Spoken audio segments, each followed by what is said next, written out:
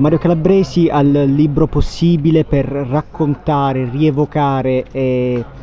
indagare un rapimento degli anni 70 in un periodo molto particolare della storia dell'Italia come ha raccontato sul palco di Polignano a Mare del lungomare Cristoforo Colombo. Io ho raccontato una storia che è la storia di una ragazza che cerca di sapere perché suo padre è stato rapito ed è morto, un padre che non ha mai visto. E questa ragazza mi ha chiesto aiuto e così abbiamo cominciato un viaggio lungo nella memoria, nella Milano degli anni 70, negli archivi, per ricostruire questa storia. E per capire perché un ragazzo di 25 anni di una ricca famiglia milanese era finito nelle periferie, eh, perché aveva questa necessità di, di, aiutare gli altri e dove però era finito anche invischiato in una storia di terrorismo che gli sarà fatale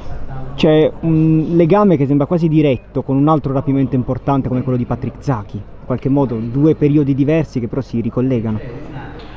Ma eh, diciamo una cosa, que- questa storia ci,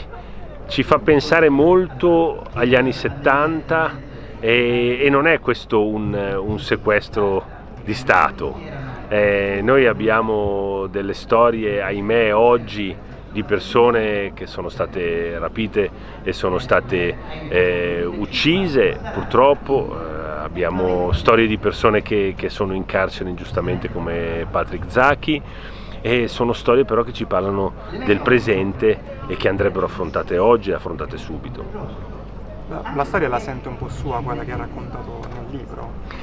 La storia di questa ragazza eh, mi ha toccato particolarmente perché è vicina naturalmente alla storia di mio padre, alla ricerca che io ho fatto sulle origini di mio padre, ma a me ha colpito soprattutto perché io ho un fratello che come Marta, la ragazza che mi ha chiesto di scoprire chi, chi, chi fosse suo padre, eh, io ho un fratello che è nato dopo la morte di mio padre. Sia Marta che mio fratello sono nati a dicembre, prima di Natale, e tutti e due hanno avuto per tutta la vita una ferita, quella di non essere mai stati tenuti in braccio dalla persona che era il loro padre.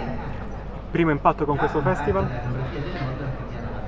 L'impatto con questo festival è meraviglioso perché la cosa più bella oggi è tornare in presenza, incontrare le persone, e parlare e respirare. Questa è una cosa che ci è mancata tantissimo.